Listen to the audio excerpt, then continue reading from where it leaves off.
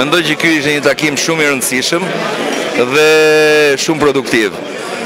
Fakti që ministri i Financave dhe kolegë tjerë të qeverisë së Kosovës kishin ardhur për të bashkëbiseduar me biznesin shqiptar që vepron në Zvicër ishte shumë i rëndësishëm, sepse aty u dhanë disa mundësi, u paraqitën mundësitë që ofron qeveria e Kosovës për të tërhequr, për të joshur këtë biznes.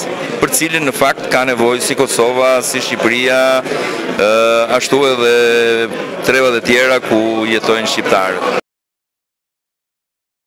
Ambasada e Shqipërisë që në tremujorin e parë të këtij viti ka nënshkruar një memorandum mirëkuptimi me rrjetin e bizneseve. Ky është një hap i parë që është bërë.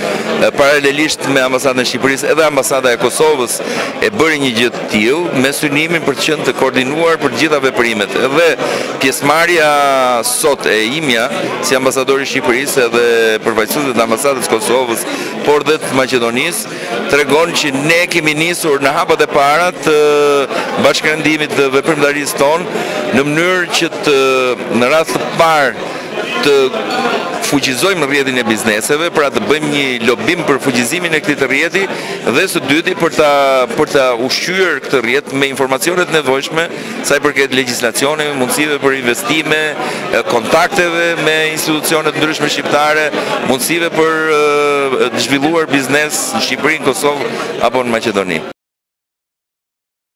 Faleminderit për ju, është ishte kënaqësi.